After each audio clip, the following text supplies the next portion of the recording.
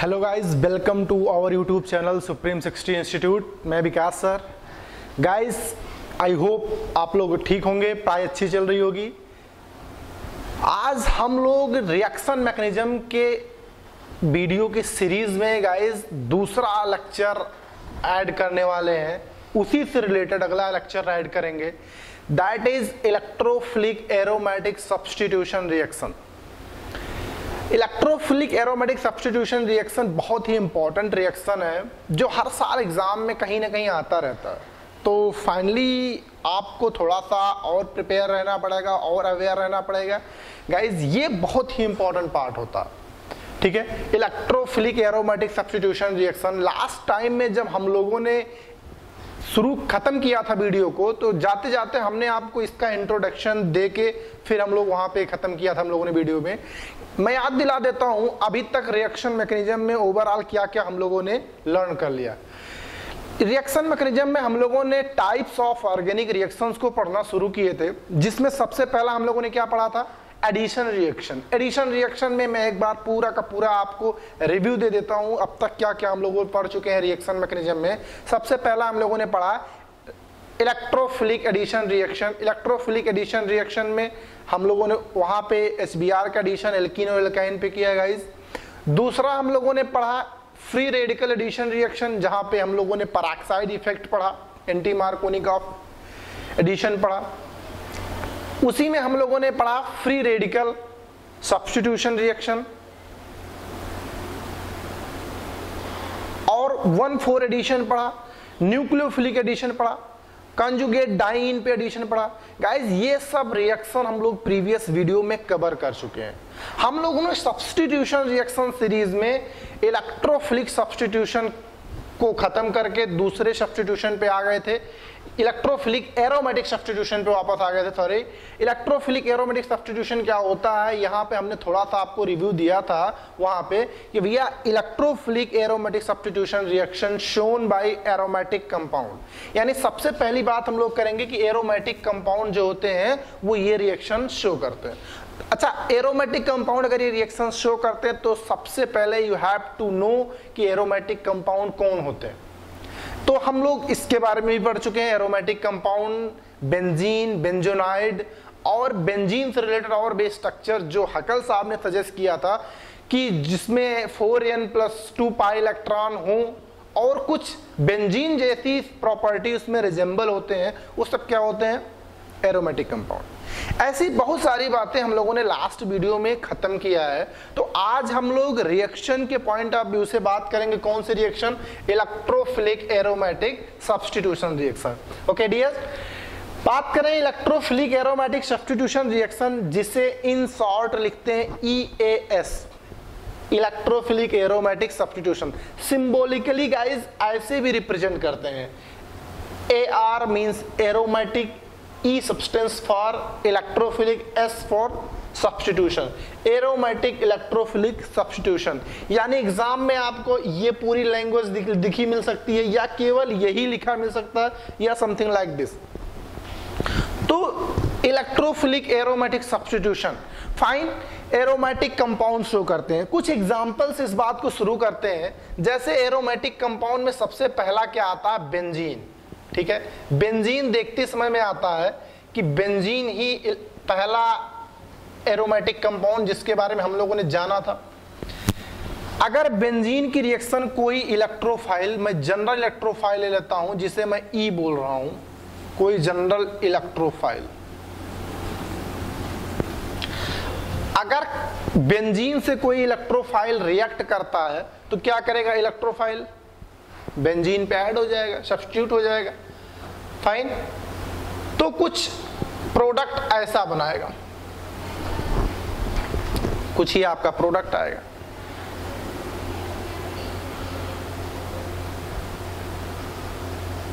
कुछ ये प्रोडक्ट आएगा। अच्छा अब ये इलेक्ट्रोफाइल आपके बदलते रहेंगे। अगर बेंजीन के साथ रिएक्शन हो तो बेंजीन के साथ इलेक्ट्रोफाइल जैसा इलेक्ट्रोफाइल होगा, वैसा आपका यहाँ प्रोडक्ट आता रहेगा।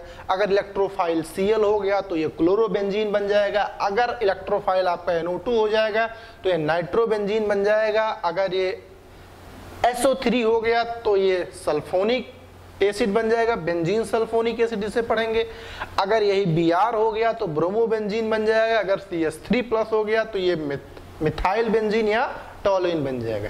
यानी गाइस हमें ये समझ में आया कि बेंजीन के साथ अगर कोई इलेक्ट्रोफाइल रिएक्ट करता है तो वो इलेक्ट्रोफाइल क्या करेगा? बेंजीन पे लग जाएगा और मोनो सब्सटीट्यूटेड बेंजीन प्रोडक्ट बनेगा। मोनो सब्सटीट्यूशन का मतलब क्या है? बेंजीन पे कोई एक सब्सटीट्यूएंस लगा हो, ठीक है? अब वो मोनो सब्सटीट्यूएंस जो है, आज जैसा जैसा इलेक्ट्रोफाइल बदलता जाएगा, वैसा जो, वैसा ये प्रोडक्ट बदलता जाएगा। फाइन अब हम कुछ रिएक्शंस के साथ इस बात को और बेहतर अंडरस्टैंड करते हैं। इसे नोट कर लीजिए, उसके बाद हम लोग पहला रिएक्शन पढ़ेंगे इलेक्ट्रोफिलिक एरोमेटिक सब्सटीट्यूशन रिएक्शन का। That is halogenation of benzene electrophilic substitution reaction में हम लोग बहुत ही बेसिक रिएक्शन से शुरू कर रहे हैं। That is halogenation of benzene halogenation of benzene मतलब बेंजीन पे हाइलोजन का सब्सटीट्यूशन फाइन जैसे अब ये बेंजीन है बेंजीन पे हमने यहाँ पे Cl2 लिया क्लोरीन लिया। इन प्रेजेंस ऑफ़ FeCl3 FeCl3 एक लुइस एसिड होता है। इसका रोल क्या है इस रिएक्शन में? अभी हम मैकेनिज्म में समझेंगे। फाइनली जब ये दोनों आपस में रिएक्ट करेंगे तो क्लोरोबेंजीन एज ए प्रोडक्ट आएगा। Okay let's see the mechanism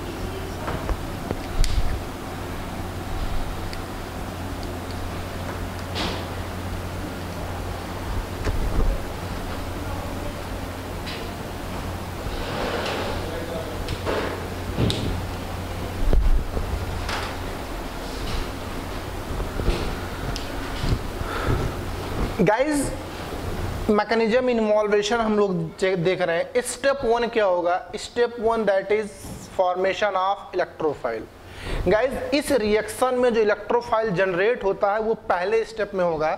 Cl2 को मैंने ऐसे लिखा। और FeCl3 हम जानते हैं क्या ये लुइस एसिड है। लुइस एसिड क्या करेगा? क्लोरीन के आयोनाइजेशन को फास्ट कर देगा। ऐसे Cl प्लस और Cl माइनस डिसोसिएट होना डिफ़िकल्ट होता है। इसीलिए हमें लुइस एसिड लेना पड़ता है। अभी हम लोगों ने यहाँ पे एफ़ थ्री ले लिया है। आप AlCl3 भी ले सकते हैं। लुइस एसिड क्या करेगा? एक क्लोरीन को कैप्चर करेगा, जो FeCl फोर माइनस बनाएगा और Cl प्लस जनरेट करेगा। यानी गाइस फ़र्स्ट स्टेप में आपका क्या होता है? फॉर्मेशन या जनरेशन ऑफ़ इलेक्ट्रोफाइल नोट कीजिए, फिर दूसरे और तीसरे स्टेप के बारे में बात करते हैं। स्टेप वन था फॉर्मेशन ऑफ़ इलेक्ट्रोफाइल ओके पहले स्टेप में Cl प्लस जनरेट हो गया। दूसरा स्टेप है attack of electrophile on benzene दूसरे स्टेप में क्या होगा? ये इलेक्ट्रोफाइल जो जनरेट होगा, वो बेंजीन पे अटैक करेगा। और बेंजीन पे अटैक करने के लिए किसी पाई बाड को शिफ्ट करेगा वो, और वहाँ पे माइनस आएगा। और प्लस आएगा। उसी माइनस पे क्या करेगा? इलेक्ट्रोफाइल अटैक करेगा और पॉजिटिव यहाँ बना रहेगा। फाइन गाइज़ ये स्टेप ध्यान रखना, ये स्टेप आपका स्लो स्टेप होता है। स्लो स्टेप को आप आरडीएस पढ़ते हो, यानी rate determining step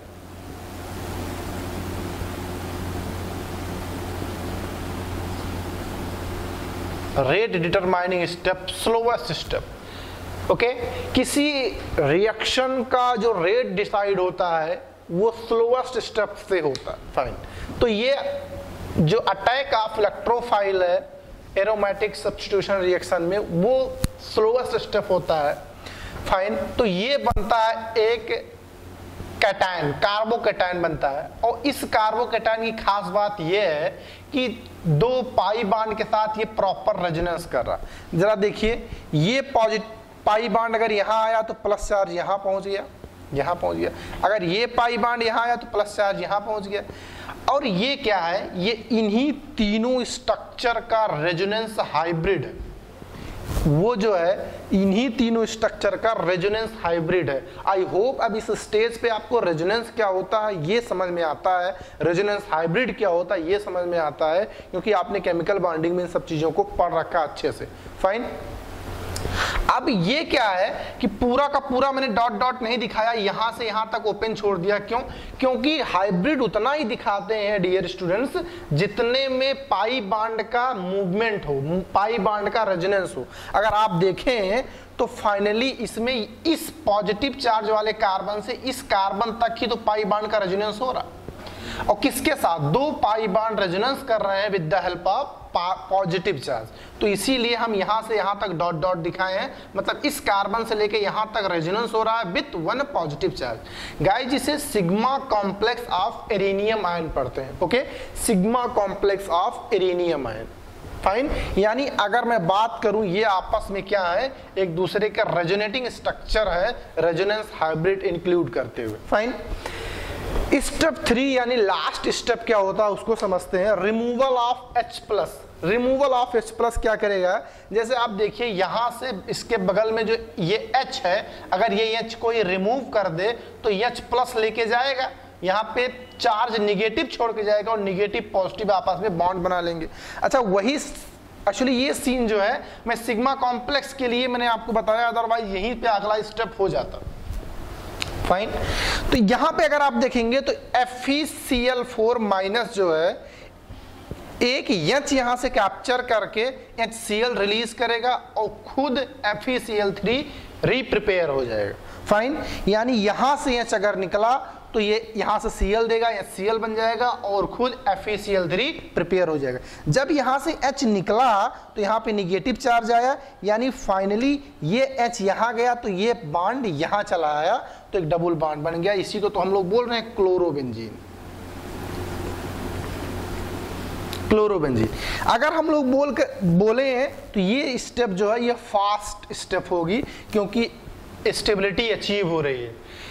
ये बात हमें कैसे पता चला? कौन से स्टेप फास्ट कौन से स्टेप स्लो जो भी रिएक्शन फॉरवर्ड डायरेक्शन में जाता है, हमेशा स्टेबिलिटी को अचीव करना चाहता है एनर्जी मिनिमाइज करना चाहता है तो पोटेंशियल एनर्जी यार मिनिमम होना पड़ेगा। यहाँ पे आप देखें बेंजीन एक एरोमेटिक कंपाउंड है, लेकिन जब इलेक्ट्रोफाइल अटैक करता है तो विथ पॉजिटिव चार्ज एक नॉन एरोमेटिक कंपाउंड आता है। और आप जानते हैं एरोमेटिक कंपाउंड ज़्यादा स्टेबल होता है नॉन एरोमेटिक से मतलब ये स्टेप होने के लिए मैक्सिमम थ्रेशोल्ड एनर्जी बैरियर तक जाना पड़ेगा। फाइन तो स्टेबिलिटी कम होती है। तो आप ध्यान रखेंगे इलेक्ट्रोफिलिक एरोमेटिक सब्सटीट्यूशन रिएक्शन में तीन स्टेप इन्वॉल्व होंगे। First step that is formation of electrophile second step attack of electrophile that is RDS and final of the step proton removal of S plus guys ये तीनों step आप ध्यान रख लीजिए क्योंकि ये हम लोग मैकेनिज्म बार बार नहीं लिखने वाले हैं। हर रिएक्शन में बदलेगा क्या? जब भी कोई बेंजीन की रिएक्शन होगी तो हर रिएक्शन में बदलेगी क्या? इलेक्ट्रोफाइल हर रिएक्शन में इलेक्ट्रोफाइल अलग अलग आएगा, लेकिन जो इन्वॉल्व होंगे रिएक्शन में मैकेनिज्म वो यही तीन स्टेप्स होंगे। फाइन इसे नोट कर लीजिए, फिर आगे बढ़ते हैं। जैसे हमने आपको हेलोजिनेशन से रिलेटेड तीन एग्ज़ाम्पल हमने लिखा है। Benzene react with B R two in presence of F B R three B R two in presence of F three benzene B R two oblique F E ध्यान दीजिए कभी कभी केवल आयरन ही होगा। आयरन रिएक्टिव होता है, इसकी बाकी मूल के साथ रिएक्शन करके जनरेट कर लेगा F E B R three fine अच्छा आप इस तरह से रिएक्शन अगर यार आपको दिए जाएँगे तो क्या आप रिएक्शन इन्वॉल्व में मैकेनिज्म लिखोगे वहाँ पे? इतना टाइम एग्ज़ाम में नहीं होता है कि आप मैकेनिज्म लिखोगे। यानी एक बार बेसिक अंडरस्टैंडिंग के लिए हमने मैकेनिज्म समझ लिया, और उसके क्या इंपॉर्टेंट पॉइंट है, कौन सा इंपॉर्टेंट स्टेप्स है, उसको अंडरस्टैंड कर लिया, लेकिन हर रिएक्शन में रिक्वायरमेंट नहीं होती कि आप मैकेनिज्म से एक्सप्लेन करो। फाइन आपको फाइनली एक प्रोडक्ट पूछा जाता है, वही ऑप्शंस में देख के करना होता है। तो आई होप कि अब आप ये डायरेक्ट लिख पाएँगे। अब आपको समझ में आया गया होगा कि यहाँ पे F V R three minus bromine को कैप्चर करेगा F V R four minus generate करेगा और बी आर प्लस वही बी आर प्लस ब्रोमीन पे बेंजीन पे अटैक करेगा। क्या बनेगा? ब्रोमो बेंजीन तो इस केस में गाइज़ मैं चाहता हूँ आप डायरेक्ट प्रोडक्ट बनाए। क्या आ जाएगा? ब्रोमो बेंजीन एक बात बताइए, ब्रोमीन यहाँ लगे यहाँ लगे यहाँ लगे, यहाँ। क्या बेंजीन के किसी भी पोजीशन पे ब्रोमीन लगे? दैट्स कूल फाइन क्यों? क्योंकि बेंजीन सिमेट्रिकल है भैया। किसी भी पोजीशन पे स्वतंत्र है वो इलेक्ट्रोफाइल अटैक करने के लिए। ठीक है? तो आप कोई पैनिक नहीं होगा कि, सर, आपने बी आर यहाँ लगाया है। अगर मैं बी आर यहाँ लगा दूँ या बुक्स में मैंने बी आर यहाँ दिखा? भैया, बात एक ही है। ओके और साथ में आप एच बी आर को लिख दीजिए।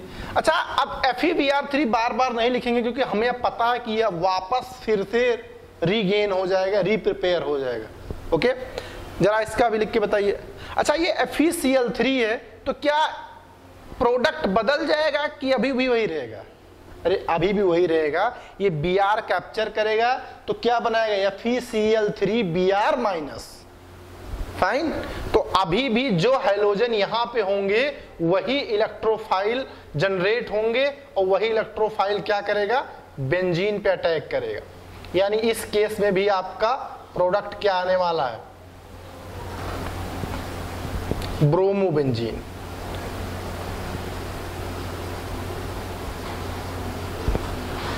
सिमिलरली यहाँ पे भी वही आने वाला है।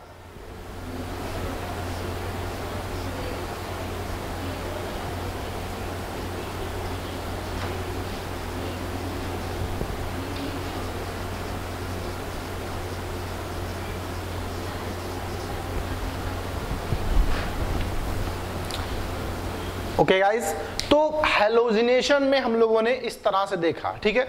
अब इसे नोट कीजिए, फिर दूसरे रिएक्शंस पे वापस आते हैं। दूसरे रिएक्शंस की बात करते हैं। नाइट्रेशन ऑफ़ बेंजीन पहला था हेलोजिनेशन ऑफ़ बेंजीन अब दूसरा है गाइस नाइट्रेशन ऑफ़ बेंजीन आपको साउंड से ही काफ़ी हद तक क्लियरिटी आ रही होगी कि बेंजीन पे NO2 का इंट्रोड्यूस होगा। बेंजीन पे NO2 इंट्रोड्यूस होगा। अब वो NO2 कैसे इंट्रोड्यूस होगा, उसके लिए देखते हैं। ओके गाइस नाइट्रेशन आप बेंजीन में फोकस करेंगे।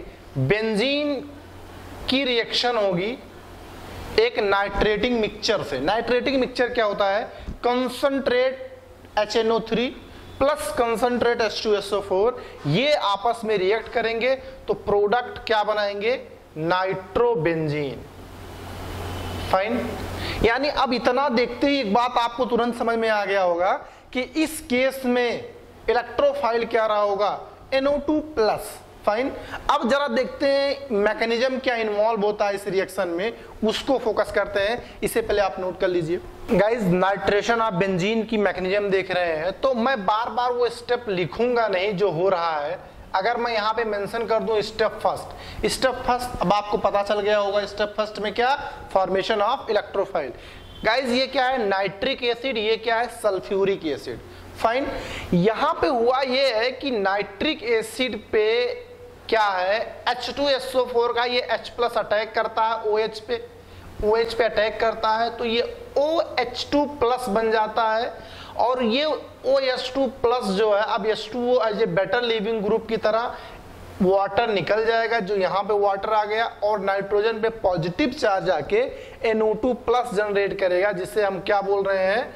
इलेक्ट्रोफाइल क्या बोल रहे हैं गाइस इलेक्ट्रोफाइल और ये आपका HSO4 बच गया जब यहाँ से H निकला कॉन्जुगेट बेस फाइन अब एक्चुअली होता क्या है? अब इन दोनों में एक खास बात और आपको ध्यान देना है कि कभी कभी रिएक्शंस में क्वेश्चन में पूछ लिया जाता है during the nitration which is act as a base and which is act as a acid.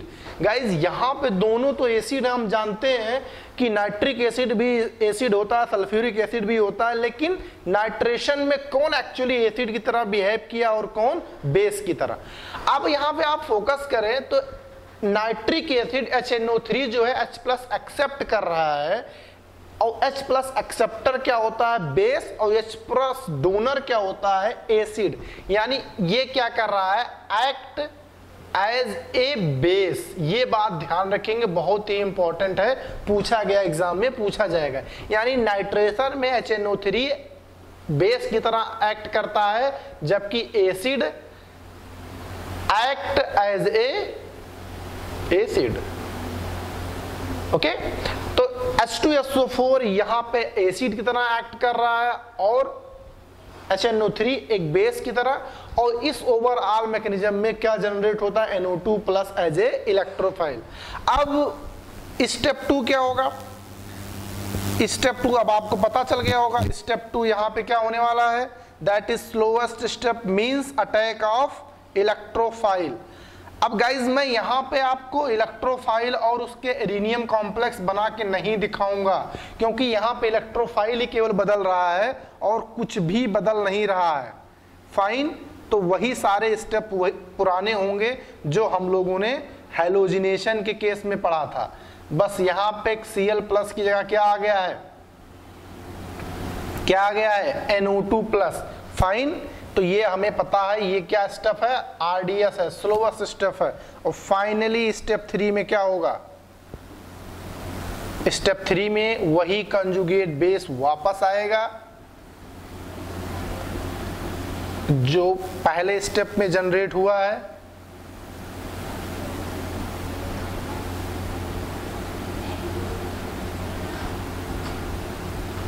यहाँ से H यहाँ से एलिमिनेट करेगा। और वहाँ पे एक पाई बान जनरेट हो जाएगा।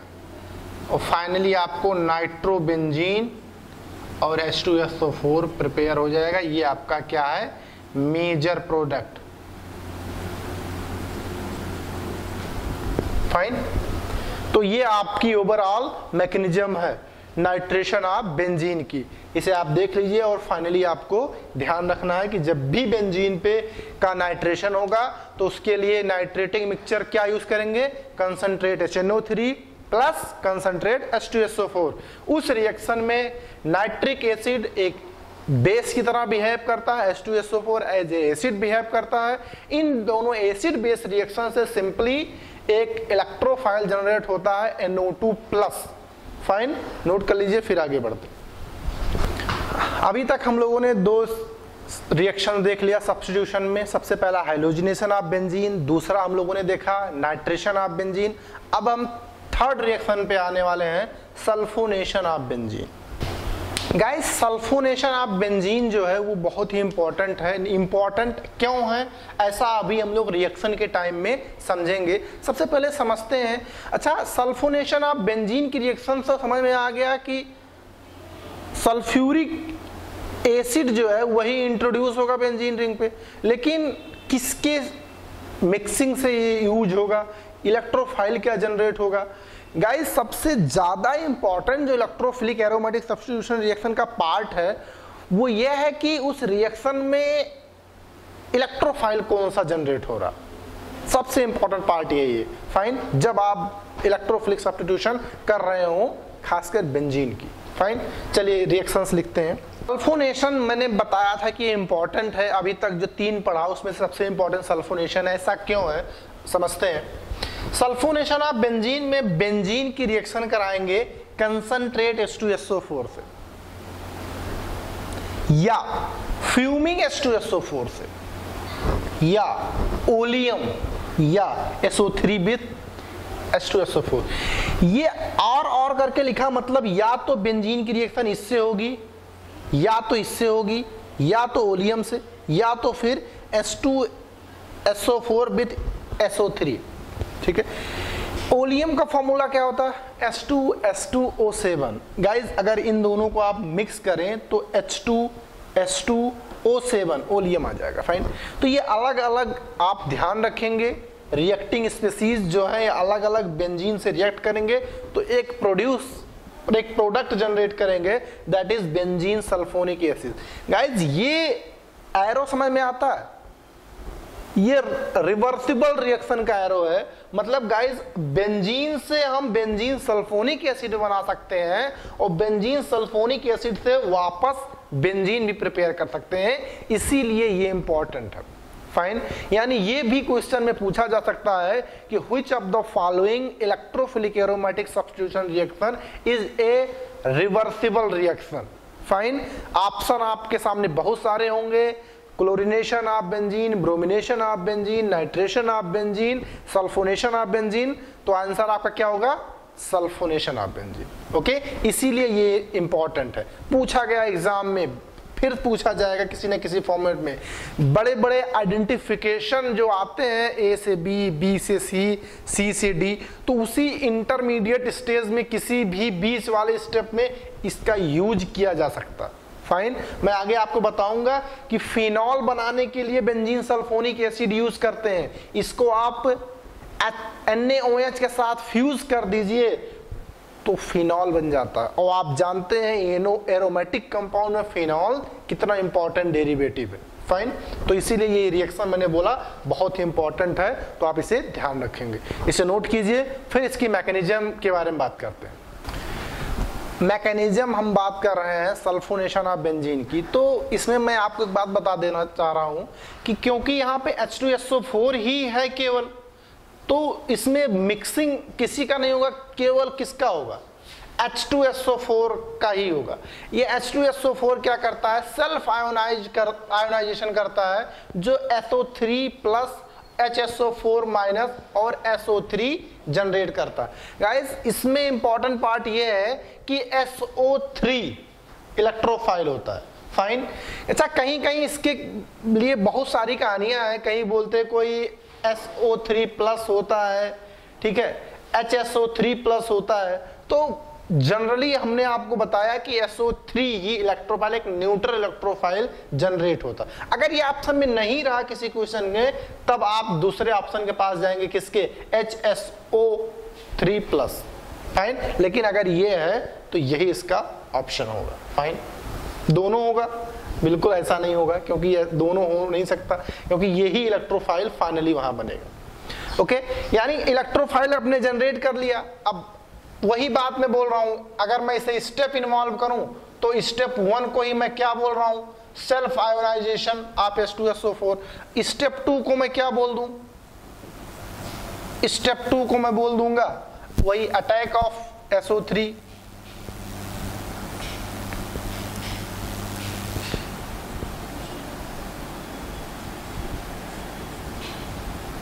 कुछ इस तरह से।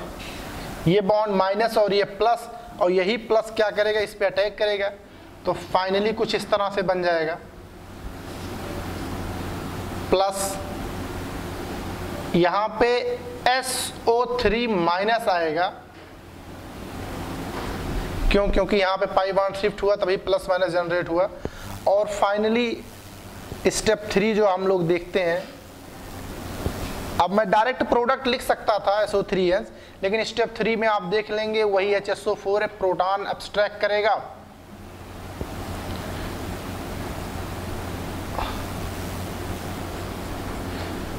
H S O four minus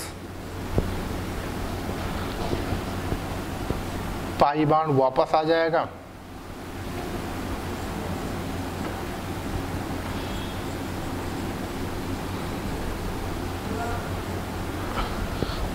और फाइनली वाटर हर सोल्यूशन में अवेलेबल होता है तो यहाँ से वाटर क्या करेगा? एच प्लस इसको दे देगा।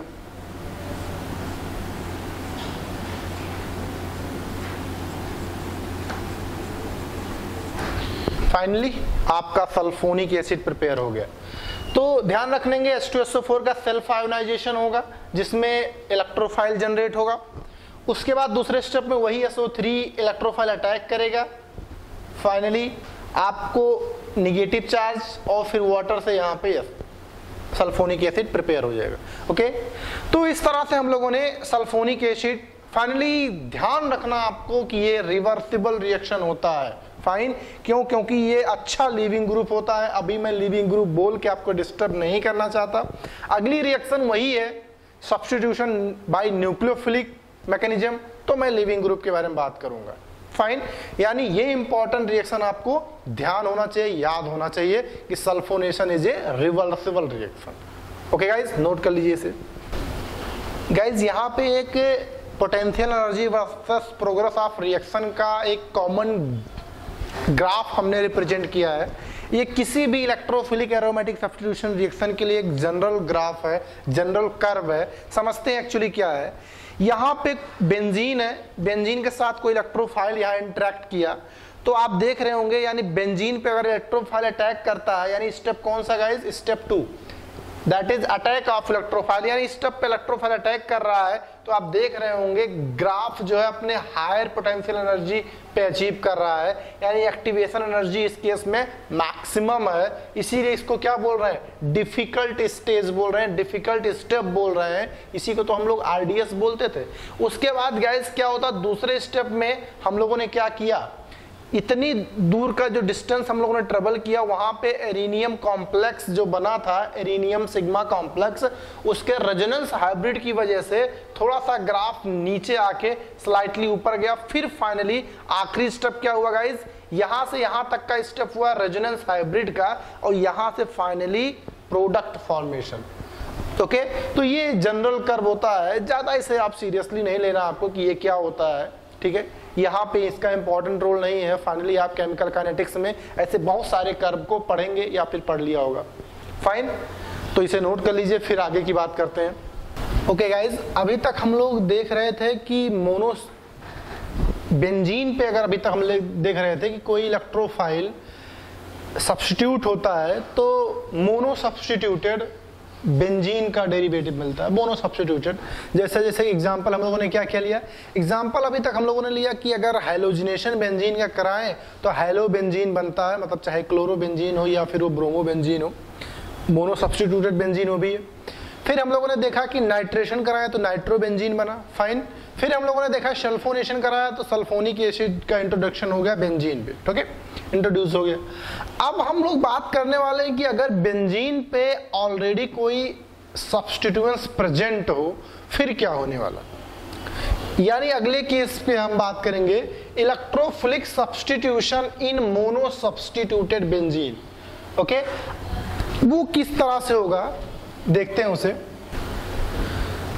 ओके okay गाइस हम लोग देखते हैं मोनो सब्सटीट्यूटेड बेंजीन पे अगर इलेक्ट्रोफिलिक सब्सटीट्यूशन होता है, फिर उसमें क्या केस होते हैं? इसे अगर आप देखें तो बेंजीन पे एक कोई जी मैंने एक ग्रुप मान लिया। लिख दिया where G is a group G कोई एक ग्रुप होगा, ठीक है? अब वो कोई भी हो सकता है। मिथाइल हो इथाइल हो ओ OH हो NO2 हो CHO हो, CN हो, कोई भी ग्रुप हो। फाइन। यानी जी कोई क्या हो, एक ग्रुप हो। अच्छा गाइज़ जब तक जी नहीं था बेंजीन ही अकेले था तो इलेक्ट्रोफाइल किसी भी कार्बन पे अटैक करे बेंजीन रिंग पे प्रोडक्ट आइडेंटिकल आएगा। लेकिन गाइज़ अब अगर मोनो सब्सटीट्यूटेड बेंजीन है तो उसके केस में इलेक्ट्रोफाइल इस पे अटैक करेगा। अच्छा गाइज़ एक बात तो हम हम आपसे पूछे हैं तो आप बता पाओगे, इस ग्रुप के रिस्पेक्ट में ये आर्थो पोजीशन है। ये मेटा पोजीशन और ये पैरा पोजीशन। ये बात आप जानते हो? यानी अगर इलेक्ट्रोफाइल यहाँ अटैक करता है तो आपको क्या मिलता है? आर्थो आइसोमर मिलता है। ऑर्थो आइसोमर मिलता है। अगर यहाँ पे इलेक्ट्रोफाइल अटैक करता है तो आपको मेटा आइसोमर मिलता है। या आइसोमर ना बोल के मैं प्रोडक्ट बोलूँ आर्थो प्रोडक्ट मिलता है। आर्थो प्रोडक्ट बोलता है, इस पर मेटा प्रोडक्ट मिलता है। अगर यहाँ पे इलेक्ट्रोफाइल अटैक करे तो आपको पैरा प्रोडक्ट मिलता है। फाइन लेकिन अब हमें यह चेक करना है कि क्या तीनों मिलेंगे, या वन मिलेगा इन तीनों में, या टू मिलेगा इन तीनों में। मतलब हमें यह अब देखना है कि इलेक्ट्रोफाइल क्योंकि अभी तो इलेक्ट्रोफाइल अगर यहाँ अटैक करेगा तो कुछ और आएगा मेटा पे अटैक करेगा, कुछ और आएगा, और पैरा पे अटैक करेगा तो ये प्रोडक्ट बनेगा। यानी three case observe in mono substituted benzene fine अब हमें ये पता करना यार तीनों नहीं बनेगा। मैं एक बात कंफर्म कर देता हूँ कि रेयरेस्ट ऑफ़ रेयर केस में कि ऐसा होता है कि तीनों का अमाउंट अच्छा आता हो अदरवाइज़ या तो एक बनेगा या तो दो बनेगा। कौन कौन सा बनेगा? अभी हम थोड़ी देर में बात करेंगे। यानी गाइस अब ये ग्रुप डिसाइड करेगा। यहाँ पे ये ग्रुप जो है, ये डिसाइडिंग फैक्टर होगा कि इलेक्ट्रोफाइल को किस पोजीशन पे अटैक करना है। आर्थो पे मेटा पे या पैरा पे। इस ग्रुप को गाइस आज से हम लोग डायरेक्टिव बोलेंगे। डायरेक्टिव या डायरेक्टर हिंदी में आप समझते हैं, इसका मतलब निर्देशक डायरेक्टर फाइन यानी ये ग्रुप इलेक्ट्रोफाइल को निर्देश देगा कि अपने रिस्पेक्ट में किस पोजीशन पे आप तुम्हें अटैक करना है। ये ग्रुप बताएगा इससे कि बेटा इलेक्ट्रोफाइल तुम आर्थो पे अटैक करोगे या मेटा पे अटैक करोगे या पैरा पे अटैक करोगे। फाइन इस तरह से यानी हमें तीन केसों में सोचा हमने, ये तीन केस पॉसिबल है। अब कौन कौन से केस पॉसिबल है, उसके लिए मैं आपको कुछ सजेस्ट करता हूँ, इसे नोट कीजिए, फिर आगे बढ़ते हैं। एक एग्ज़ाम्पल लेते हैं, उसी के करस्पॉन्डिंग आप बात को और ढंग से समझते हैं। यहाँ पे जो जी है वो गाइस क्या है? ओ है। इस बार मैंने ओ OH को फिक्स कर दिया क्योंकि मैं डिफरेंट डिफरेंट ग्रुप के करस्पॉन्डिंग मैं चेक करना चाहता हूँ कि इलेक्ट्रोफाइल किस पोजीशन पे अटैक करेगा। एक्चुअली मेरे पास रूल्स है मैं डायरेक्टली बता सकता था। मैं चाहता हूँ पहले एक दो ग्रुप के साथ आप समझ लीजिए, ताकि याद या रटने जैसी कोई बात आपके सामने आए ना। फाइन अब मैंने देखा, इसे पहचानते हैं। फिनॉल इसका नाम होता। कैसे बोल सकते हैं भैया आप इसे? फिनॉल दूसरा नाम? कार्बोलिक एसिड बार बार याद करने का एक ही तरीका है कि बार बार लिखते रहिए। फिनॉल या उसे कार्बोलिक एसिड पढ़ते हैं। ये ऑब्ज़र्व किया गया गाइस कि अगर फिनॉल से कोई इलेक्ट्रोफाइल इंट्रैक्ट होता है तो वो आर्थो और पैरा पे अटैक करके दो आइसोमर बनाता आर्थो एंड पैरा। मेटा इस केस में निग्लिजिबल अमाउंट में आता है, यानी आर्थो, फिनॉल के केस में आर्थो प्रोडक्ट और पैरा प्रोडक्ट दो ही मैक्सिमम कंटेंट में ऑब्ज़र्व होते अब ऐसा क्यों हुआ? इसी के बारे में हम लोग बात करने वाले हैं। यानी अब हमको समझने वाले हैं कि क्या होने वाला। यानी थोड़ा सा मैं प्रोसेस बताता हूँ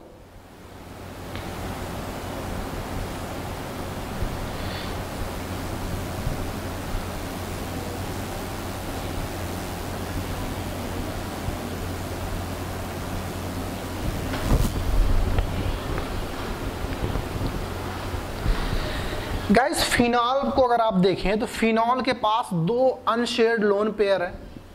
लोन पेयर क्या करेगा? ये लोन पेयर रेजोनेंस करेगा। ये लोन पेयर इधर आएगा तो इस पाई बाड को इधर शिफ्ट कराएगा तो एक रेजोनेंस स्ट्रक्चर बनेगा। गाइस जरा इसे आप देखिए, किस तरीके से बनेगा। यहाँ पे आपको नज़र आ रहा होगा, एक डबल बॉन्ड आ जाएगा। और एक पॉजिटिव चार्ज क्योंकि ये बैलेंस एक्सपेंड कर रही। गाइज़ ये पाई बार शिफ्ट हुआ इधर तो यहाँ पे एक निगेटिव चार्ज आएगा। साथ में ये पाई बाड बने रहे। इतना समझना चाहिए आपको। पाई बाड इधर आया तो दूसरे पाई बाड को शिफ्ट किया, और पाई बाड शिफ्ट किया तो यहाँ पे माइनस आया। माइनस आया। फाइनली अब क्या होने वाला है? अगर आप देखें तो ये क्या करेगा? अगर ये निगेटिव चार्ज यहाँ आए तो इस पाई बाड को फिर से रेजोनेंस कराएगा। अच्छा फिर से अगर इसको रेजोनेंस कराएगा तो कुछ इस तरह से बनेगा। यहाँ एक डबल बाड बन गया, अब निगेटिव चार्ज यहाँ पे आ गया। और डबल बाड ओ के साथ एच और ये पॉजिटिव ऐसे बना रहा। फाइन अब और क्या हो सकता? और ये हो सकता कि ये निगेटिव चार्ज इधर जाए और इस पाई बाड को फिर से शिफ्ट कराए। अगर ऐसा करता है तो जरा देखिए क्या आएगा। यहाँ पे अब निगेटिव चार्ज आ गया। यहाँ ये पाई बाड ये पाई बाड डबल बाड ओ देन एच पॉजिटिव ये बन गया। अच्छा फिर से अगर देखिए, ये निगेटिव चार्ज यहाँ आए तो ये पाई बाड फर्दर ब्रेक हो जाएगा। अगर पाई बाड फर्दर ब्रेक हो जाएगा तो आपको फिनॉल वापस मिल जाएगा। विथ नो चार्ज यहाँ से यहाँ तक आप देखिए, ये फिनॉल शुरू हुआ फिनॉल बन गया। फाइनली आपके पास फाइव रेजोनेटिंग स्ट्रक्चर आए फिनॉल के। मैं ये रेजोनेटिंग स्ट्रक्चर क्यों बनाया हूँ, क्यों, क्या कारण है इसके पीछे मैं समझाता हूँ आपको। गाइस इलेक्ट्रोफाइल क्या होता? इलेक्ट्रोफाइल इलेक्ट्रॉन डेफिशिएंट स्पीसीज होता है। इलेक्ट्रॉन डेफिशिएंट स्पीसीज होता मतलब ये इलेक्ट्रॉन अचीव करना चाहेगा। इलेक्ट्रॉन पेयर एक्सेप्ट करना चाहेगा। यानी ये उस साइट पे अटैक करना पसंद करेगा जहाँ इलेक्ट्रॉन ज़्यादा हो, इलेक्ट्रॉन डेंसिटी ज़्यादा हो। अब जरा देखिएगा इस ये क्या हो रहा है? इस पूरे प्रोसेस को अगर आप ऑब्ज़र्व करें फाइनली यहाँ से लेके आप यहाँ तक के पूरे प्रोसेस को आप ऑब्ज़र्व करें तो ओ OH का आपको बिहेवियर समझ में आएगा कि ओ OH क्या कर रहा है, और तो आपको पहली बात समझ में आएगा कि सर ओ OH अपने पाई बांड को रिंग में शिफ्ट कर रहा है यानी इलेक्ट्रॉन डोनेट कर रहा है। अच्छा वो इलेक्ट्रॉन डोनेट कर रहा है तो एक्चुअली इलेक्ट्रॉन डेंसिटी कहाँ बढ़ रही है? अगर आप देखें तो पहले केस में इलेक्ट्रॉन डेंसिटी इस आर्थो पोजीशन पे निगेटिव चार्ज आया। और आप जानते हैं निगेटिव चार्ज का मतलब क्या होता है? एक अनशेयर्ड इलेक्ट्रॉन इसी पे आया। अच्छा फिर से ये निगेटिव चार्ज जो रेजोनेंस किया, फिर से कहाँ पे आया? पैरा पोजीशन पे आया। फिर से ये निगेटिव चार्ज अनदर पाई बार के साथ रेजोनेंस किया गया फिर से कहाँ पे आ गया? आर्थो पे आ गया।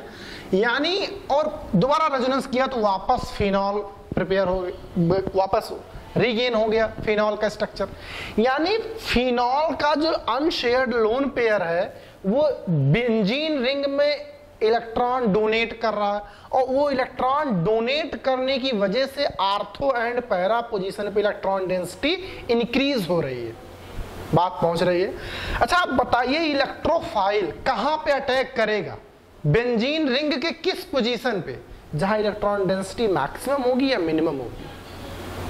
बात समझ में आ गई होगी आई होप कि अब ये इलेक्ट्रोफाइल उसी पोजीशन पे, उसी साइट पे अटैक करना पसंद करेगा जहाँ इलेक्ट्रॉन डेंसिटी मैक्सिमम होगी। किस पोजीशन पे आ रहा है? Ortho, para, ortho. भैया, दो पोजीशन यहाँ पे मिल रहे हैं, आर्थो, पैरा, बस। क्या मेटा पे इलेक्ट्रॉन डेंसिटी कभी इंक्रीज हुई? नहीं हुई। ये बात हमें नोट करना है और इसी को अभी लिखना है। अब हम एक बात जनरलाइज कर पा रहे होंगे कि जो ग्रुप है, यहाँ पे जो मैंने ग्रुप लिखा था अब मैं उस ग्रुप के लिए एक जनरल बात बोल सकता हूँ, ये बोल सकता हूँ कि कोई भी ग्रुप, ध्यान दीजिएगा, कोई भी ग्रुप अगर पुशिंग इफ़ेक्ट या इलेक्ट्रॉन डोनेटिंग नेचर का है इलेक्ट्रॉन डोनेटिंग नेचर का है तो वो आर्थोपैरा डायरेक्टिव होगा। अगर कोई ग्रुप इलेक्ट्रॉन डोनेटिंग ग्रुप है तो वो आर्थो पैरा डायरेक्टिव होगा। इसका मतलब क्या? इलेक्ट्रॉन डोनेटिंग ग्रुप जो होंगे, वो इलेक्ट्रोफाइल को आर्थो एंड पैरा पोजीशन पे अटैक करने का निर्देश देंगे। इसी वजह से गाइज़ आर्थो पैरा आइसोमर मिल रहा। ठीक है? इसे नोट कीजिए। फिर आगे बढ़ते हैं। Okay guys let's pick another example guys हमने इस बार नाइट्रोबेंजीन लिया। नाइट्रोबेंजीन लिया। अब नाइट्रोबेंजीन को फोकस कीजिए मतलब कि मैंने एक और ग्रुप लिया। अभी तक हमने एक ग्रुप लिया था, जिस पे हम चेक कर रहे थे कि उसे आर्थो एंड पैरा आइसोमर आया अब मैंने और एक रैंडम ग्रुप सेलेक्ट किया। फिर उस ग्रुप में मैंने इलेक्ट्रोफाइल से जब इंट्रक्शन कराया तो उस ग्रुप ने मेटा पोजीशन पे इलेक्ट्रॉन इलेक्ट्रोफाइल को जाने का आदेश दिया, यानी मेटा प्रोडक्ट आया। और गाइस इसमें एक ही प्रोडक्ट आया that is meta product ortho और पैरा नहीं अपियर हुए। ऐसा क्यों हुआ? फिर से रीजन जानने का प्रयास करते हैं। इसके पीछे की कहानी क्या है? इसके पीछे की स्टोरी क्या है? अब फिर से हमें नाइट्रोबेंजीन को देखना पड़ेगा और बेंजीन पे जो NO2 लगा हुआ है, इसके हरकतों को ऑब्ज़र्व करना पड़ेगा। ओके? जैसे अब देखिए, अब NO2 क्या है? NO2 ये पाई बॉन्ड शिफ्ट करेगा। अच्छा अगर NO2 पाई बॉन्ड शिफ्ट करेगा तो ये पॉजिटिव यहाँ आएगा। और ये पॉजिटिव को एब्जॉर्ब करने के लिए पाई बॉन्ड इधर शिफ्ट होगा। अच्छा अगर ये पाई बॉन्ड यहाँ गया तो ये पॉजिटिव कहाँ पे आ गया? जरा देखिएगा, आराम से देखिएगा। NO2 का अब ये माइनस चार्ज आ जाएगा, क्यों पाई बाण शिफ्ट हुआ? ये ऐसे बना रहेगा। एक पाई बाण यहाँ और आ गया, क्योंकि ये रिंग का पाई बाण अब ये यहाँ मूव किया। अच्छा अब इस साइड पे पॉजिटिव चार्ज है क्योंकि अब जो पॉजिटिव नाइट्रोजन पे था, वो पाई बाण शिफ्ट करा के पॉजिटिव चार्ज इस कार्बन पे लाया। और ये दो पाई बाण ऐसे बने रहे। ठीक है? अब फिर से वही रेजोनेंस का प्रोसेस आगे बढ़ जाएगा। ये पाई बांड यहाँ पहुंचेगा।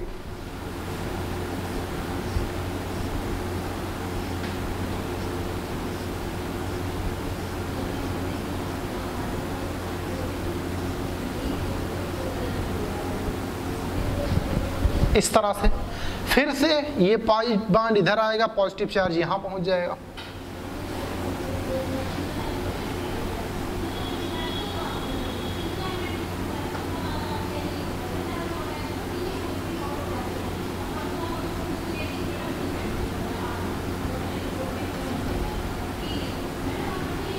फाइनली अगर आप देखें तो पाई बाड अगर ये यहाँ आएगा तो पॉजिटिव यहाँ पहुँच जाएगा और ये निगेटिव फिर से ऑक्यूपाई कर लेगा उस नाइट्रोजन को।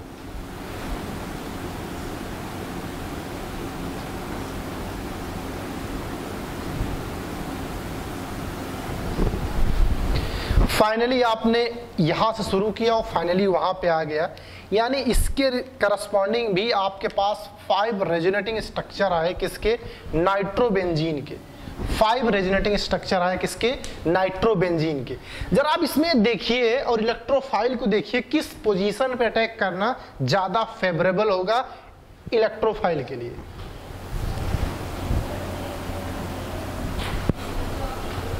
अब जरा देखिए इलेक्ट्रोफाइल इलेक्ट्रॉन डेफिशिएंट स्पीसीज है, ये इलेक्ट्रॉन रिच साइड पे अटैक करना पसंद करता।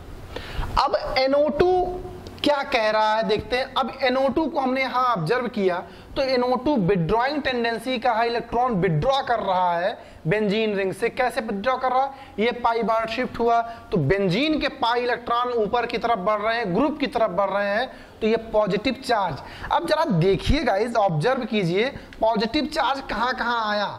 Ortho, para, ortho. है कि नहीं? Ortho, para, ortho. तीन दो ही पोजीशन वहाँ पे है। अच्छे, दोनों आर्थो सेम ही होते हैं। आर्थो एंड पैरा पोजीशन पे कौन सा चार्ज आया गाइस NO2 की वजह से? पॉजिटिव अब आप खुद सोचिए, क्या उस पॉजिटिव पे ये पॉजिटिव अटैक करेगा? इस पॉजिटिव पोजीशन पे इलेक्ट्रोफाइल अटैक करेगा? तो ये बिल्कुल ही फिजिबल नहीं है। क्यों? क्योंकि ये खुद इलेक्ट्रॉन डेफिशिएंट है और इलेक्ट्रॉन डेफिशिएंट साइट पे ये नहीं अटैक करेगा। इलेक्ट्रॉन डेफिशिएंट साइट पे नहीं अटैक करेगा। अच्छा गाइज़ अगर ये आर्थो पैरा पे अटैक नहीं करेगा तो गाइज़ कहाँ अटैक करेगा? मेटा पे अटैक करेगा। क्योंकि अगर आप देखिए तो इस मेटा पे कभी पॉजिटिव चार्ज नहीं आया। पॉजिटिव चार्ज नहीं आया मतलब वहाँ पे कहीं ना कहीं इलेक्ट्रॉन डेफिशिएंसी नहीं आई। तो pure charge positive ortho and para पे है तो आर्थो एंड पैरा पे इलेक्ट्रोफाइल नहीं अटैक करेगा, कहाँ अटैक करेगा? मेटा पोजीशन पे। तो इस वजह से मेटा आइसोमर आया। इसे समझिए। यानी गाइज़ अब हम लोगों के पास दो तरह के क्लासिफिकेशन आ गए। कौन कौन से समझते हैं, फिर इसी बात को नोट करते हैं। पहला ग्रुप जो है अभी तक यहाँ पे NO2 है। और पुराने वाले केस में OH था। दोनों को समझते हैं। OH था OH इलेक्ट्रॉन डोनेटिंग ग्रुप था बेंजीन रिंग में इलेक्ट्रॉन डोनेट कर रहा था with the help of plus M या प्लस आर इफ़ेक्ट से। फाइन NO2 ग्रुप जो है वो गाइस बेंजीन रिंग से इलेक्ट्रॉन विड्रॉ कर रहा है with the help of minus M या माइनस आर तो क्या समझ में आया? एक कंक्लूजन निकाला हम लोगों ने दोनों बातों को समझ के कि जो भी ग्रुप इलेक्ट्रॉन डोनेटिंग टेंडेंसी के होंगे, वो सभी इलेक्ट्रोफाइल को आर्थो एंड पैरा पोजीशन पे अटैक कराएँगे। यानी इलेक्ट्रॉन डोनेटिंग ग्रुप अगर बेंजीन पे प्रेजेंट होगा तो आर्थो एंड पैरा आइसोमर आएगा। आर्थो एंड पैरा प्रोडक्ट आएगा ओके लेकिन अगर कोई इलेक्ट्रॉन विड्रॉइंग ग्रुप अवेलेबल है इलेक्ट्रॉन विड्रॉइंग ग्रुप अवेलेबल है। यानी बेंजीन रिंग से इलेक्ट्रॉन विड्रॉ कर रहा हो तो वो मेटा प्रोडक्ट बनाएगा। इतनी बात आप डाइजेस्ट कीजिए पहले और इसे नोट कीजिए। फिर इसी बात को हम लोग लैंग्वेज में लिख लेते हैं। ओके फाइन जो बातें अभी तक हम लोग समझ रहे थे, उन्हीं बातों को एक साथ लिख दिया गया है। एक एक करके पढ़ते हैं, उसी को अंडरस्टैंड करते हैं। सबसे पहले लिखा गया है आर्थोपैरा डायरेक्टिव आर्थोपैरा डायरेक्टिव क्या होता है? Groups group which exert pushing effect in the benzene ring pushing effect in the benzene ring are known as ortho para director ये बात तो हम समझ चुके हैं। जो भी ग्रुप बेंजीन रिंग में पुशिंग इफ़ेक्ट शो करेंगे, वो कौन से होंगे? आर्थोपैरा डायरेक्टर इसी बात को दूसरे तरीके से बोला गया all electron donating groups are electron donating groups are OP directors and also called activating groups ध्यान दीजिएगा, जो इलेक्ट्रॉन डोनेटिंग ग्रुप होते हैं, या इलेक्ट्रॉन पुशिंग इफ़ेक्ट वाले ग्रुप होते हैं, उन्हें क्या पढ़ते हैं? Activating groups fine meta directive क्या होते हैं? Groups which exert withdrawing effect in the benzene ring withdrawing effect in the benzene ring known as meta director all electron withdrawing groups meta director also called deactivating groups जितने भी withdrawing group होंगे electron withdrawing group होंगे, वो सब Meta directive होंगे और उन्हें deactivating groups भी कहते हैं। एक्सेप्ट हाइलोजन ध्यान देना है एक्सेप्ट हाइलोजन इसका मतलब क्या? हाइलोजन्स को छोड़कर। हाइलोजन्स भी यार क्या होते हैं? डीएक्टिवेटिंग होते हैं। कौन सा deactivating minus I third point बोला गया fluorine chlorine bromine iodine are partially deactivating groups but ortho para directive ये बात इंपॉर्टेंट है। लोग गलती करते हैं इस बात में। ध्यान देना, ये बात इंपॉर्टेंट इसलिए है क्योंकि लोगों को लगता है इसका विड्रॉइंग इफ़ेक्ट है minus I effect but in case of halogen inductive effect जो है, वो मेसोमेरिक इफ़ेक्ट के रिस्पेक्ट में स्लो डाउन हो जाता है। यहाँ पे इंडक्टिव इफ़ेक्ट से ओवर डोमिनेट है मेसोमेरिक इफ़ेक्ट फाइन थोड़ा ही होता है, लेकिन होता है। तो ये तीन बातें जो हम लोगों ने पिछले कुछ एग्जाम्पल्स में समझा था, उसको हम लोगों ने यहाँ नोट कर लिया है। इसे आप नोट कर लीजिए, उसके बाद हम लोग कुछ एग्जाम्पल्स के साथ समझते हैं। ओके गाइज़ हम लोगों ने एक छोटा सा टेबल बना लिया है किस तरीके से? Activating groups and deactivating groups वैसे फाइनली इसको आपको पहले से, से पता है। एक्टिवेटिंग ग्रुप्स में याद दिलाऊं अगर तो मैं जीओसी फ़र्स्ट पे आपको लेके जाऊँगा। जीओसी फ़र्स्ट में यार जब हम लोग पढ़ रहे थे मेसोमेरिक इफ़ेक्ट तो मैंने आपको बताया था मेसोमेरिक इफ़ेक्ट में जब मैं प्लस एम और माइनस एम या प्लस आर माइनस आर आपको जब मैं सिखा रहा था तो मैंने वहाँ पे आपको बताया था। क्या बताया था वहाँ पे? जिस ग्रुप के पास, जिस फ्री वैलेंसी एटम के पास लोन पेयर होंगे, वो group plus M effect show करेगा। देखिए, जितने प्लस एम इफ़ेक्ट वाले ग्रुप हैं, जितने प्लस एम इफ़ेक्ट वाले ग्रुप हैं, वो सब क्या एक्टिवेटिंग ग्रुप है। इवेंचुअली अगर कोई प्लस आई इफ़ेक्ट का ग्रुप भी है प्लस आई इफ़ेक्ट मतलब कोई एल्किल ग्रुप भी है तो वो भी एक्टिवेटिंग ग्रुप होगा, ठीक है? डीएक्टिवेटिंग में वही जो इलेक्ट्रॉन विड्रॉइंग हो, यानी माइनस एम और माइनस आई लगाता हो। Nitro cyanide C W S SO three H C H O ketone ester amide acid halide trifluoromethane ammonium ion, ये सब जो हम लोगों ने लिखा, ये डीएक्टिवेटिंग ग्रुप्स हैं। यानी गाइस अगर ये सारे ग्रुप बेंजीन पे कहीं भी लगे हैं तो ये इलेक्ट्रोफाइल को आर्थो एंड पैरा पोजीशन पे सब्सिट्यूट होंगे। फाइन तो इसे आप नोट कर लीजिए, उसके बाद कुछ एग्जाम्पल्स को हम लोग समझते हैं। भी एक्टिवेटिंग और डीएक्टिवेटिंग के रेफरेंस में जो बात को समझ रहे थे, उसी पे एक छोटा सा मैंने क्वेश्चन लिखा which of the following groups is an activating groups अब आपको ऑप्शन में तीन तीन के यहाँ पेयर दिए गए हैं, बोल रहा कौन से ऑप्शन में एक्टिवेटिंग ग्रुप्स ये बात बोल रहा है। तो एक्टिवेटिंग ग्रुप आपको समझ में आता है, कौन से होंगे? जो इलेक्ट्रॉन डोनेटिंग ग्रुप है। जब चेक कीजिए ऑप्शन में। NH2 क्या है? NH2 आपको समझ में आ रहा है कि इसके पास ट्रांस लोन पेयर है तो ये पुशिंग इफ़ेक्ट शो करेगा एक्टिवेटिंग ग्रुप है। ऑब्वियसली ओ OH को अभी देखा। सी एच ओ भैया नहीं है C H O deactivating group है तो ये बात ध्यान रखें तो ये ऑप्शन नहीं हो रहा है। इसमें अगर आप देखें तो ओ OH बिल्कुल NH2 बिल्कुल ये भी शो करेगा, लेकिन फिर से वही NO2 नहीं शो करेगा, ठीक है? सी एस थ्री हाँ भैया C S three plus I show करता है मतलब पुशिंग इफ़ेक्ट शो करेगा तो फाइनली ये एक्टिवेटिंग होगा। NH2 और ओ होता ही होता है। तो फाइनली ये वाला आंसर सही है क्योंकि इसमें तीनों के तीनों ग्रुप जो है, वो एक्टिवेटिंग ग्रुप है। इसमें तीनों के तीनों भैया डीएक्टिवेटिंग है। आप देख लीजिए सी डबल ओ एच को सी एन को और सी एच ओ को। तो एक छोटा सा क्वेश्चन एक्टिवेटिंग ग्रुप्स और डीएक्टिवेटिंग ग्रुप्स पे इस तरह के बनाए जा सकते हैं। फाइन नोट कीजिए फिर रिएक्शन पे वापस आते हैं। ओके okay गाइस हमने कुछ यहाँ पे मोनो सब्सटीट्यूटेड बेंजीन ले लिए है और उसकी कुछ रिएक्शंस मैंने लिख दी है और मैं चाहता हूँ करस्पॉन्डिंग प्रोडक्ट जानना चाहता हूँ। तो अब हमें पता चल गया है कि मोनो सब्सटीट्यूटेड बेंजीन पे हमें उस ग्रुप के अकॉर्डिंग डिसीज़न लेना पड़ता है कि इलेक्ट्रोफाइल किस पोजीशन पे अटैक करेगा। चलिए स्टार्ट करते हैं। अब अगर आप देखें तो सी एस थ्री बेंजीन पे सी एस थ्री लगा हुआ है ऑब्वियसली इसका नाम जानते हैं टॉलविन है। अब सी एस थ्री का इफ़ेक्ट बताएँगे आप? टॉलविन में सी एस थ्री का इफ़ेक्ट है। बिल्कुल समझ में आता सी एस थ्री प्लस का इफ़ेक्ट शो करेगा। यानी पुशिंग इफ़ेक्ट शो कर रहा है। तो यहाँ पर जो सी एल टू में सी एल प्लस इलेक्ट्रोफाइल बनेगा, वो आर्थो एंड पैरा पोजीशन पे अटैक करेगा। यानी दो आइसोमर यहाँ पे आएँगे। कौन कौन से? एक आर्थोक्लोरोटालोइन, दूसरा पैराक्लोरोटालोइन। ठीक है? आर्थो प्रोडक्ट आएगा, आप नाम लिख सकते हैं आर्थोक्लोरो टॉलुइन मैं लिख देता हूँ आर्थो क्लोरोटॉलुइन और ये पैराक्लोरो टॉलुइन ठीक है? अब जरा दूसरे में देखिए, दूसरे में क्या है ये? फिनॉल है।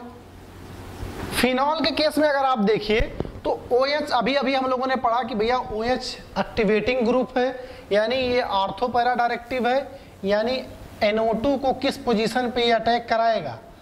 आर्थो पे एंड दूसरा आइसोमर कहाँ अटैक करेगा? इसका दूसरा प्रोडक्ट पैरा पोजीशन यानी क्या बन जाएगा? Ortho nitrophenol and para nitrophenol ठीक है? ये बनेगा। जरा इसमें देखिए तीसरे वाले में। इसमें क्या है? सी एच ओ सी एच ओ कौन सा इफ़ेक्ट लगाता है? सी एच ओ अगर आप देखेंगे तो इसके पास एक पाई बाड है C H O withdrawing effect लगाएगा माइनस एम इफ़ेक्ट लगाएगा, यानी ये विड्रॉइंग इफ़ेक्ट यानी डीएक्टिवेटिंग ग्रुप है, और ऑल डीएक्टिवेटिंग ग्रुप क्या होते हैं? मेटा डायरेक्टिव होते हैं, यानी इसका एक ही आइसोमर आएगा, एक ही प्रोडक्ट आएगा, कौन सा? मेटा क्या हो जाएगा ये? Meta nitro benzaldehyde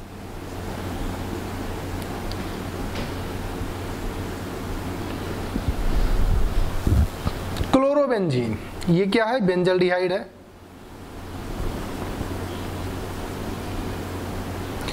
chlorobenzene के केस में क्या होगा? क्लोरोबेंजीन क्लोरोबेंजीन मतलब बेंजीन पे हेलोजन लगा है हम लोगों ने आखिरी थर्ड पॉइंट नोट में यही लिखा था कि हेलोजन क्या होते हैं? Partially deactivating but OP director यानी यहाँ पे जो Cl प्लस जनरेट होगा, वो आर्थो एंड पैरा पोजिशन पे लगेगा। क्लोरोबेंजीन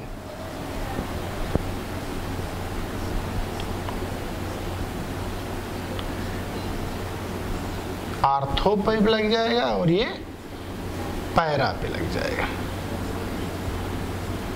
इसे पढ़ते हैं आर्थोडाइक्लोरोबेंजीन। इसे पढ़ते हैं पैराडाइक्लोरोबेंजीन। अगर कोई आईपीएससी से पढ़ना चाहता तो one comma two dichlorobenzene, one comma four dichlorobenzene. तो इस तरह से गाइज़ हम लोगों ने क्या देखा कि मोनो सब्सटीट्यूटेड बेंजीन पे जो ग्रुप लगा होता है, वो डिसाइड करता है कि इनकमिंग इलेक्ट्रोफाइल किस पोजीशन पे सब्सटीट्यूट होगा। ओके यानी आपको आपको डायरेक्टिव पता होना ज़रूरी है। डायरेक्टिव अगर आप जानते हैं तो उसकी हेल्प से अच्छे, जैसा भी क्वेश्चन अच्छे होंगे या फिर जैसे बेटर अच्छे होंगे या बहुत ज़्यादा अच्छे होंगे, जितना बेटर क्वेश्चन बन सकेगा, या वो डायरेक्टिव के अकॉर्डिंग ही वो क्वेश्चन खत्म होगा। यानी अगर आप अच्छे क्वेश्चन को करना चाहते हो तो आपको एक्टिवेटिंग डीएक्टिवेटिंग ग्रुप्स के बारे में जानना ज़रूरी है, जो कि बहुत ही पुरानी घटनाओं के आधारित है ये। घटनाओं पे आधारित है, बिल्कुल। ये एक समय की बात है, जब हम लोगों ने मेशोमेरिक इफ़ेक्ट शुरू किया था, वहाँ पे मैंने इसे बताया था। तो इसे नोट कर लीजिए। फाइनली तो आज का लेक्चर गाइस हम लोग यहीं पे खत्म करते हैं। आप इसे पढ़ लीजिएगा, पूरा डायरेक्टिव क्या होता है? उसके बाद अगले लेक्चर में इसी बात को हम लोग आगे बढ़ाएँगे। अभी मोनो सब्सटीट्यूटेड है, फिर डाई सब्सटीट्यूटेड बेंजीन के बारे में बात करेंगे और इसके बहुत सारे एप्लीकेशंस अगली क्लास में खत्म करते हुए कुछ क्वेश्चन भी डिस्कस करेंगे जो प्रीवियस ईयर एग्ज़ाम्स में आए। गाइज़ अगर आपको वीडियो पसंद आता है तो प्लीज़ लाइक करें और अपने फ्रेंड के साथ शेयर करें। If you have any doubt please leave in the comment section thanks for watching